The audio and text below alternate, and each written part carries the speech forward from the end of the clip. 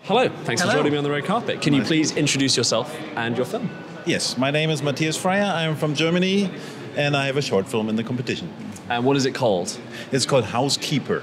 Amazing. And without any spoilers, can you tell me a little bit about what it's about? It is a coming of age story. It, it plays in 1986 when Chernobyl fallout was uh, all over Europe.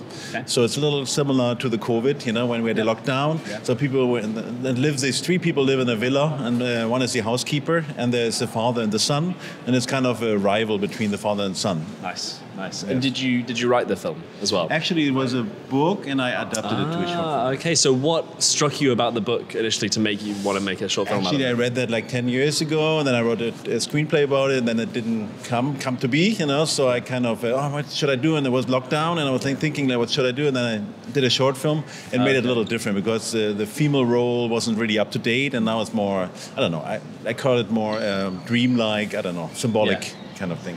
And so is the aim to then eventually make it a feature?